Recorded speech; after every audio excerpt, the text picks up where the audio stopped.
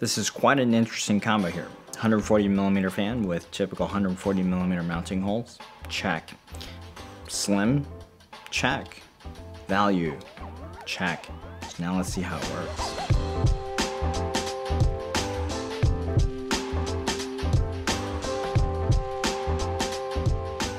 Welcome to Machines More.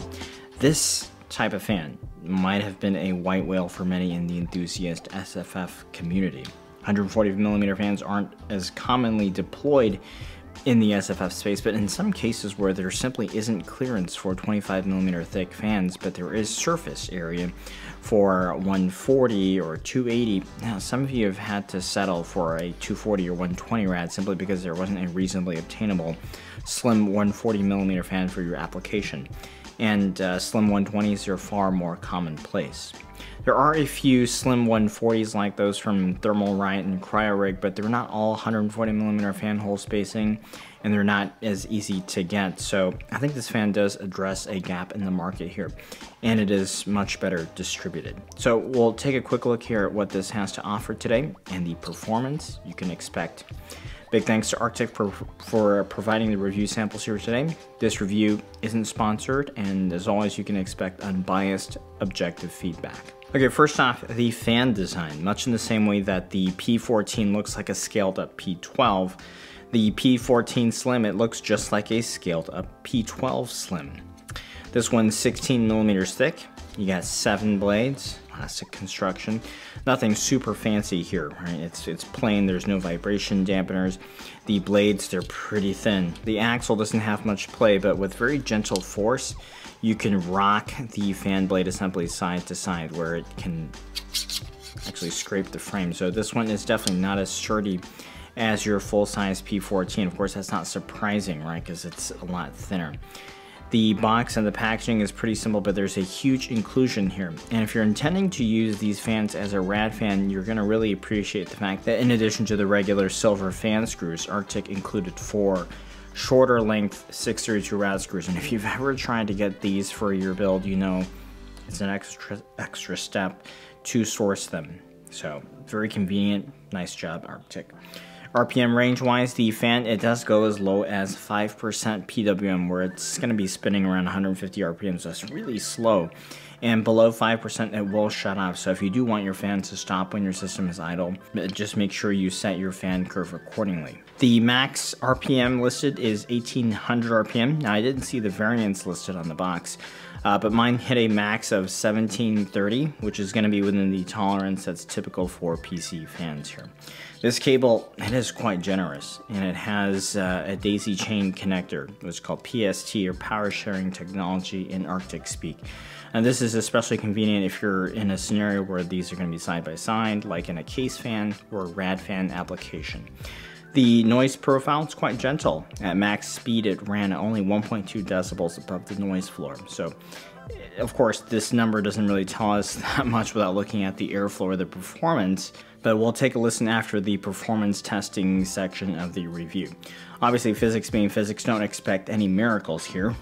The geometry of the slim fan, well, it simply can't move as much air as the thicker one, but I think it's actually pretty competent. To test these, I wanted to try them out on an air cooler, so C14S does make a reappearance here. I did want to also avoid the geometry of the fan being a factor here, you know, with a th thicker fan being closer to the outside. Uh, so what I did was test it with the side panel off, and since these really don't have much headroom, we kind of need to test them at 100% and even then I had to back off the voltage on the 5800X test chip here. So this chip is being tested at 1.2 volts and uh, 4.5 gigahertz. So we got roughly 1700 RPM on the P14 Slims versus 1300 or so on the P14. And I'm also throwing in the stock Noctua A14 fan as a baseline here.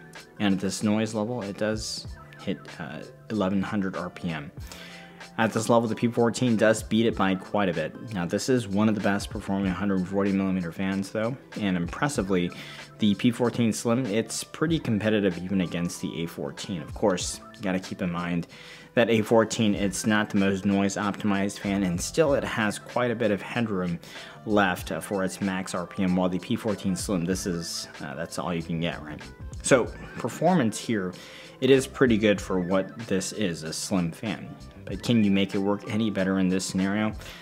Not really. I did want to test it out in a push-pull configuration, but one thing to note is that this fan really isn't well suited to deploying in that manner without some modification. Uh, one limitation here is that the fan, it really doesn't come with any rubber vibration dampeners, which would space it off a little bit.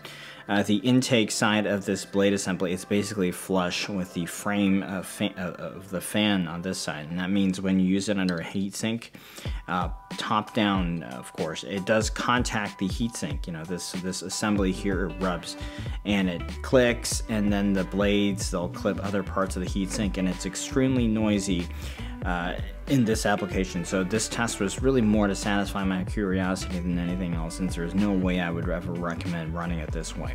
You could run it with a full-size fan underneath a heatsink, but syncing up the two fans I think that would be quite challenging. You'd probably get turbulence there.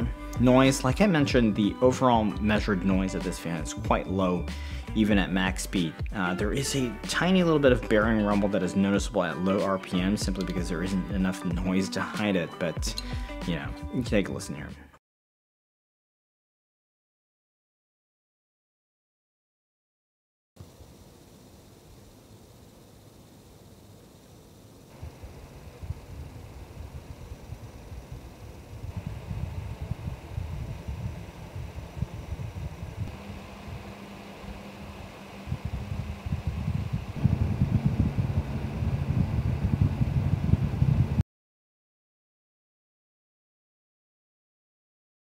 So P14 Slim, well you could run it as a heatsink fan on something like the C14S.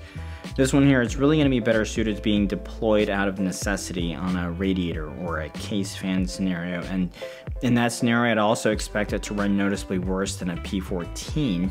Um, but hey, you know, if you're running such as a bigger rad in something like the Meshlicious, just like a big 280, you can use these. Uh, but you know, when you need the clearance, this is a fine choice.